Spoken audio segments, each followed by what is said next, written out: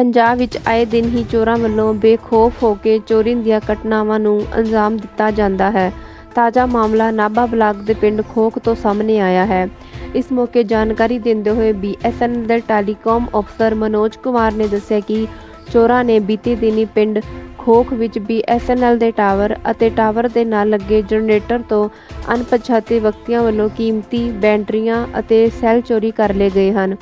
ਉਹਨਾਂ ਕਿਹਾ ਕਿ ਜਿਸ ਕਾਰਨ ਟਾਵਰ ਬਿਲਕੁਲ ਹੀ ਬੰਦ ਪਿਆ ਹੈ।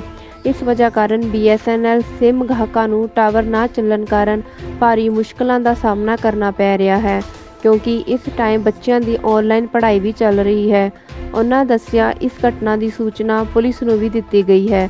ਦੂਸਰੇ ਪਾਸੇ ਪਿੰਡ ਵਾਸੀਆਂ ਨੇ ਕਿਹਾ ਕਿ ਟਾਵਰ ਵਿੱਚੋਂ ਚੋਰਾਂ ਵੱਲੋਂ ਬੈਟਰੀਆਂ ਵਗੈਰਾ ਸਮਾਨ ਚੋਰੀ ਹੋਣ ਕਾਰਨ ਟਾਵਰ ਬੰਦ ਪਿਆ ਹੈ।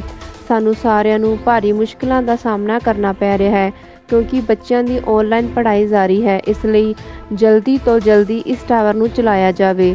ਇਸ ਘਟਨਾ ਨੂੰ ਲੈ ਕੇ ਜਦੋਂ ਪੁਲਿਸ ਨਾਲ ਸੰਪਰਕ ਕੀਤਾ ਗਿਆ ਤਾਂ ਪੁਲਿਸ ਦਾ ਕਹਿਣਾ ਸੀ ਕਿ ਜਾਂਚ ਸ਼ੁਰੂ ਕਰ ਦਿੱਤੀ ਹੈ ਅਤੇ ਜਲਦ ਹੀ ਚੋਰਾਂ ਨੂੰ ਗ੍ਰਿਫਤਾਰ ਕਰ ਲਿਆ ਜਾਵੇਗਾ। ਨਾਭਾ ਤੋਂ ਤਰੁਣ ਮਹਿਤਾ ਦੀ ਰਿਪੋਰਟ। ਭਾਈ ਆਪਣਾ ਕੀ ਹੁੰਦਾ ਹੈ?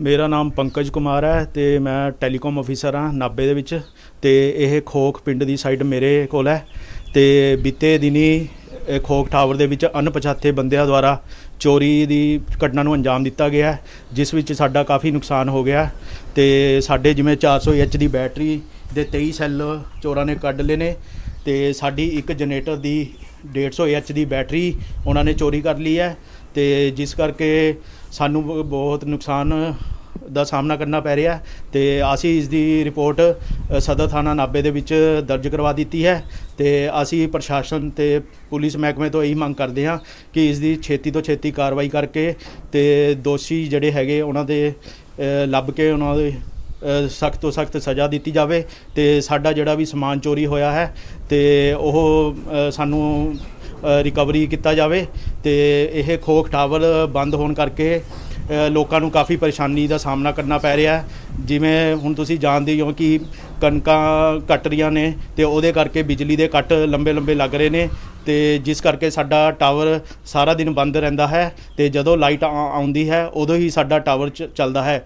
ਜਿਸ ਕਰਕੇ ਲੋਕਾਂ ਨੂੰ ਕਾਫੀ ਪਰੇਸ਼ਾਨੀ ਦਾ ਸਾਹਮਣਾ ਕਰਨਾ ਪੈਂਦਾ ਹੈ ਤੇ ਮੈਂ ਤਾਂ ਇਹੀ ਮੰਗ ਕਰੂੰਗਾ ਕਿ ਛੇਤੀ ਤੋਂ ਛੇਤੀ ਜਿਨ੍ਹਾਂ ਨੇ ਇਹ ਘਟਨਾ ਨੂੰ ਅੰਜਾਮ ਦਿੱਤਾ ਉਹਨਾਂ ਨੂੰ ਲੱਭ ਕੇ ਅ, ਤੇ ਉਹਨਾਂ ਨੂੰ ਸਖਤ ਤੋਂ ਸਖਤ ਸਜ਼ਾ ਦਿੱਤੀ ਜਾਵੇ।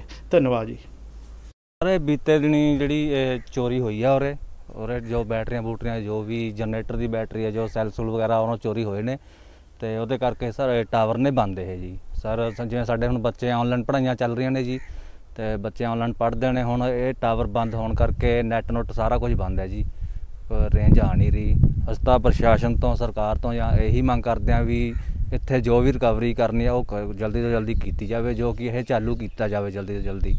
ਜੋ ਵੀ ਸਾਡੇ ਬੱਚਿਆਂ ਦੀਆਂ ਪੜ੍ਹਾਈਆਂ 'ਚ ਰੁਕਾਵਟ ਕੋਈ ਨਾ ਆਵੇ। ਬਸ ਜੀ ਇੰਨਾ ਕਹਿਣਾ ਚਾਹਾਂਗੇ ਜੀ। ਬਾਕੀ ਅਧਿਕਾਰੀ ਆਏ ਹੋਏ ਨੇ ਉਹਨਾਂ ਨੇ ਸਾਨੂੰ ਦੱਸਿਆ ਜੀ ਵੀ ਵੀ ਜੋ ਵੀ ਸੈੱਲ ਸੁੱਲ ਜੋ ਵੀ ਹੋਣ ਵਾਲਾ ਜੀ ਅਸੀਂ ਤਾਂ ਇਹੀ ਮੰਗ ਕਰਦੇ ਹਾਂ ਪੁਲਿਸ ਤੋਂ ਵੀ ਤੇ ਪ੍ਰਸ਼ਾਸਨ ਤੋਂ ਵੀ ਵੀ ਇਹਨੂੰ ਜਲਦੀ ਤੋਂ ਜਲਦੀ ਚਾਲੂ ਕਰਵਾਇਆ ਜਾਵੇ।